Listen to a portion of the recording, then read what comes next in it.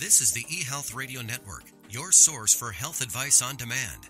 And now your host, Eric Michaels.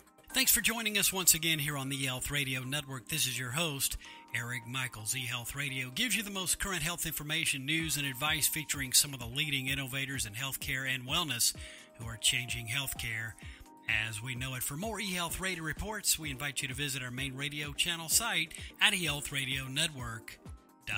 Today we're speaking with, once again, Krissy Regan, the wellness poet and founder of Mindful Mums Queensland. Krissy is an author, speaker, and wellness coach based in Townsville, Queensland, Australia. And Krissy, welcome back to eHealth Radio. Hi, Eric. How are you? Thank you for having me. Yeah, doing just fine, and great to have you back with us. Looking forward to hearing from you as well.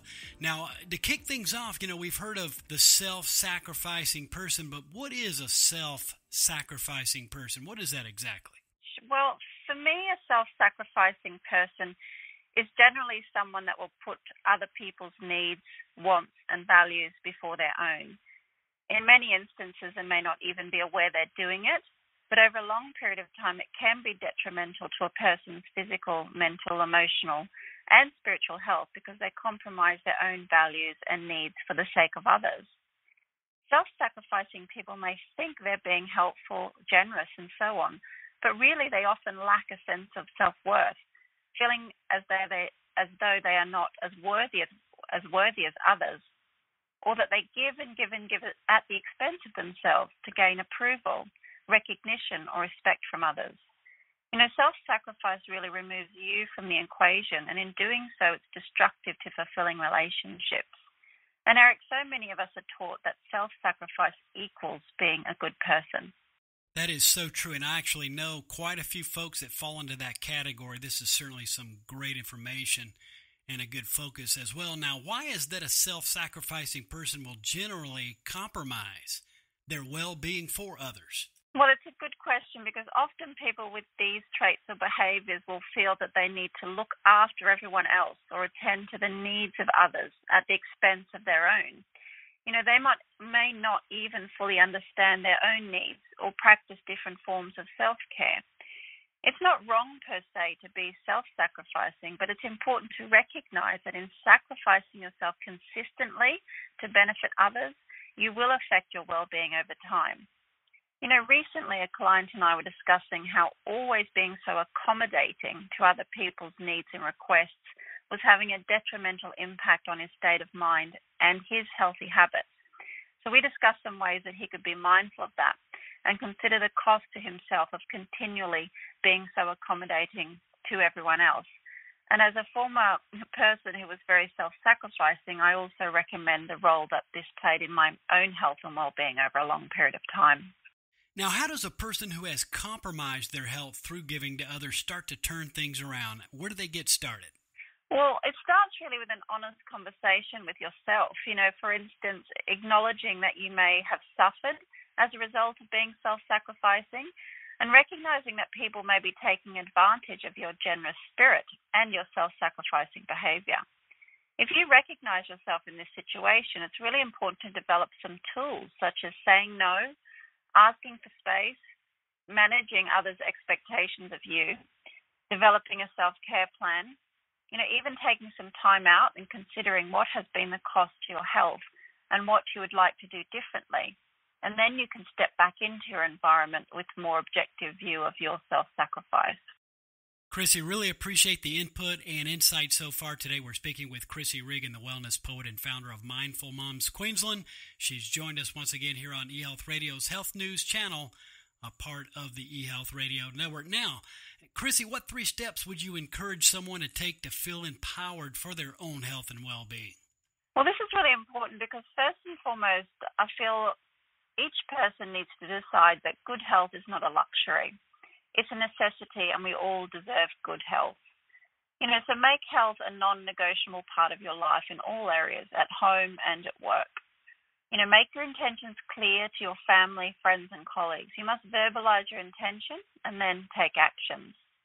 And if you journal your thoughts and your feelings and you start to recognize some patterns in your behavior that may be keeping you stuck in an unhealthy cycle of sacrifice, one insight I learned from Brene Brown's book, the gifts of imperfection is that compassionate people have boundaries.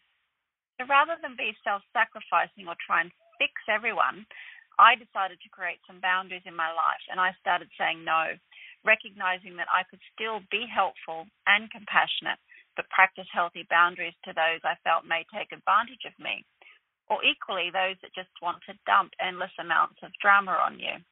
Good stuff there. Good input once again. Now, how is it that very giving people who are self sacrificing often feel like the victim? Yes, it's, interesting, isn't it? Because over time, um, sacrificing yourself does become a habit.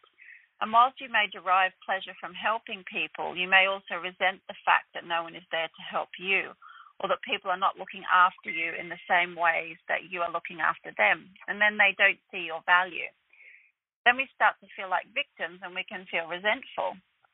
What I tell people in this instance is that unless you are giving to yourself first, you can't expect others to give to you. You know, and that sounds quite harsh, particularly to people who love helping others, but it's true. You must first help yourself or put your own mask on, and then you can be more useful to others. You know, that's a basic principle of self care, but one that's very overlooked by self sacrificing personalities. Like I said, it's not wrong to be helpful, kind, and generous and very giving, but we must not allow those values to become unhealthy because we do not apply them to ourselves in the same way that we apply them to others. And that's when we start to see our health and our well being become compromised because we're constantly neglecting our own needs, Eric. Krissy, really appreciate your visits each and every time and for joining us once again here on eHealth Radio. Some really good focus here on self sacrificing people and uh, how to make sure it doesn't get out of control, if you know what I mean, in regards to our health and well being. In conclusion, any closing thoughts, a final word, or a tip or advice along the lines of our conversation today? Well, as a person who was formerly very self sacrificing, I recognized the long term impact that had played on my general health and wellness and how I had negated my needs and didn't have a good self care routine. So for me, really it's about note if you notice your health and well-being suffering because you're a very given per, giving person you know you could ask yourself one simple question. What would happen if i was not here? And you know once you ask that question it opens a door for you to kind of look at your um your habits in a much more um objective way and to find some some methods and some space in order to decide what it is that you actually need for your own health and well-being eric that is one impactful question to ask oneself under these circumstances. Really appreciate the information today, and I'm sure listeners want to know once again how they could connect with you or to get more information on the Wellness Poet. Where's the best place to get details online? Thank you. So my my website is thewellnesspoet.com. That um, holds all the information about my work and programs and workshops and retreats that I offer, as well as information about my online wellness school. And again, that is thewellnesspoet.com. All links will be left within the show notes of this broadcast to be of help. Again, Krissy, all the best and look forward to our next conversation right here on eHealth Radio. Thank you so much, Eric. Take care. Have a great day.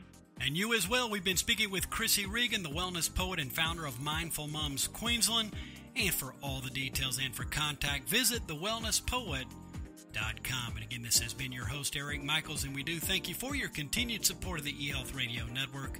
Join us again soon for another episode that will help further expand your knowledge on those things that are important to your health and wellness. For more eHealth Radio reports, we invite you to visit our main radio channel site at eHealthRadioNetwork.com. And as always, we do thank you for tuning in. Thanks for tuning in to the eHealth Radio Network. For more information or to subscribe to this podcast, visit eHealthRadioNetwork.com.